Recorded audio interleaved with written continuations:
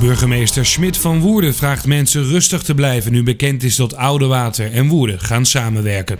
En tegen iedereen zou ik willen zeggen, hou even je kruid droog, blijf even rustig en laat je niet gek maken door allerlei uh, uh, bakenpraatjes verhalen. Maar op RTV Utrecht zien we dat de emoties bij de ras-echte inwoners van Oudewater al hoog oplopen. Dan vraag ik mij toch af, is, is daar ook uh, de raad en de bevolking bij betrokken?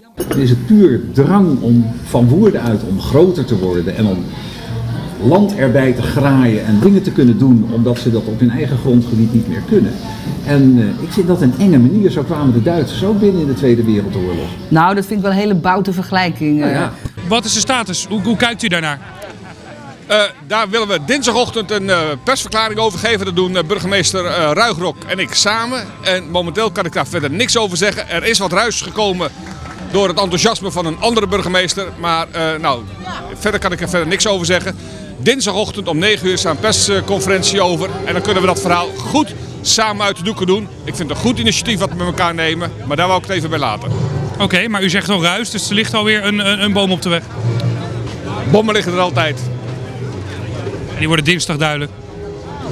We moeten even rustig afwachten. Dinsdagochtend dan komen burgemeester Ruigrok uh, en mijn persoontje samen met de gemeentesecretarissen zullen we een verklaring afleggen hoe het precies in elkaar zit. Maar er moet nog een hoop gebeuren, want een van de oppositiepartijen houden water. Die verwachten protesten. Ik denk dat er wel een mobilisatie van de bevolking plaats zal gaan vinden. Ja. Want ik denk als mensen dit nu eindelijk officieel weten, informeel dreigde dit al, maar nu is het gewoon officieel, staat op papier.